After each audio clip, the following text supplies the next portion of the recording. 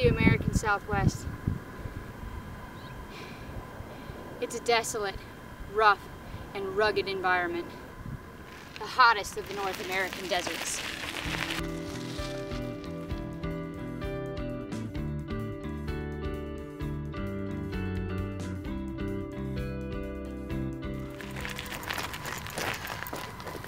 This is not the place you want to be stranded. Looks like I got a flat tire. This situation can happen to anyone, and it's good to be prepared, to know what to do if this case shall arise. So,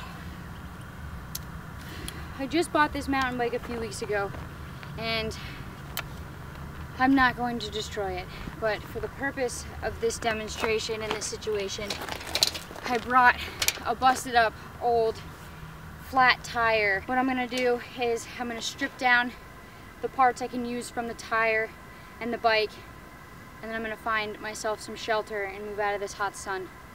Good thing I always keep my backpack filled with equipment I'm gonna need for the entire weekend.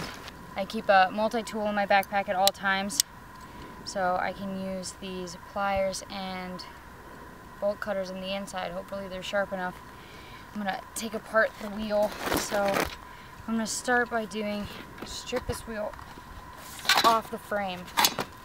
Just like that. Was easier than I thought it was gonna be. And I'm gonna take the hose out of it. Now this hose can come in really good handy because I can use it to make a slingshot and hopefully catch some food with it. I can cut it up into sections and I can also burn it to set a signal fire to try and find rescue. Well, I noticed that there is a reflector right here on the bike wheel. So that can come in really great handy to signal at airplanes that pass by. So I'm definitely gonna keep that. You can definitely see how it's already working a little bit there. So That'll come in great handy. Oh, I already got poked. Ah. Little bugger.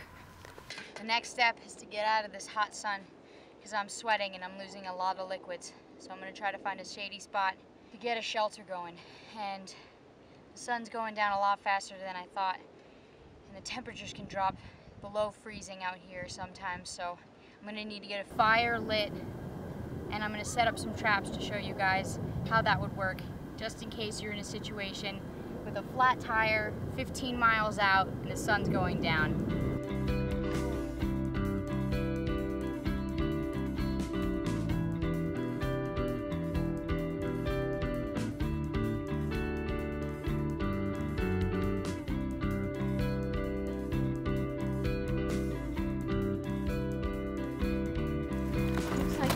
Where I'm gonna set up camp for the night. A hundred thousand square foot of dry, desolate, sweltering terrain. Feels nice to be out of the sun though. Can't rest for long. I got a shelter to make and a fire to start before that sun goes down and I start shivering. I've already got twigs and sticks all stuck in my hair. Now that I got my shelter all set up and somewhat ready to go, I'm gonna try to get started on a fire because that's gonna be most important.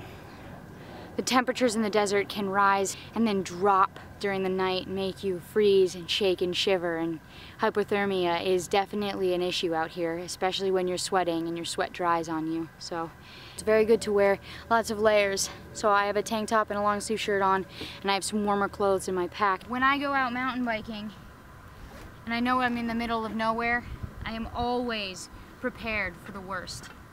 And that's how you should be. You should always bring enough water, enough food, enough clothing. Always bring fire starting materials and that's just what I do. So I have a nice solid clump of steel wool, handy dandy Kozak fire starting kit. It includes two batteries, flint, and a cotton string. which I can use the cotton to shred up so I can help start the fire. Matches in a waterproof case. What you want to do is just stretch it. Make it nice and fluffy and airy and light. What I also have is a tampon. I'm going to shred it apart and use the cotton for fuel. Really compact. Wow. There we go, now I got it. Ask any girl. I bet they've never started a fire using their tampon. Guarantee it. I'm gonna make the connection so that the current is flowing properly. All you have to do is connect two to the end. There we go. See it starting to light? Blow just gently. Yeah, there we go. There's a lot of animal poop over here. Maybe I'll catch some dinner.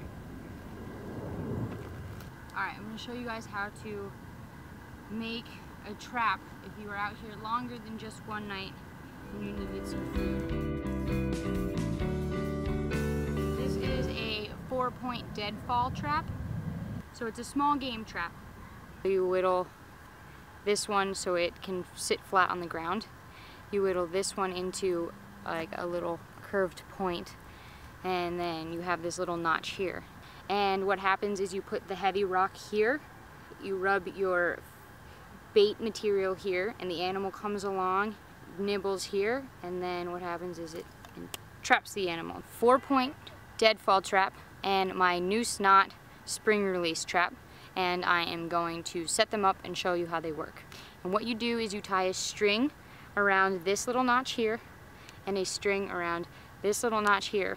This one is connected to a heavy rock here. This one is connected to a branch that you pull down. When the animal comes through and it gets stuck in the noose and it pulls it, these snap away and this flings up and your animal goes with it.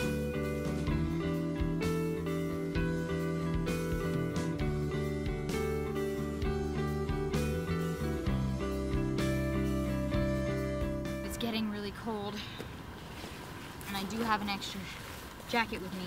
This way I can sleep warm and comfortably through the night. Oh, it's already better. So,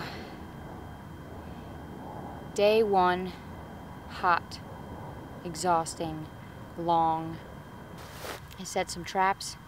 Hopefully I get some breakfast. So now I have nothing to do but just wait and hopefully get some sleep so in the morning I can try to hike out of here and find some rescue. Night one. Here we go.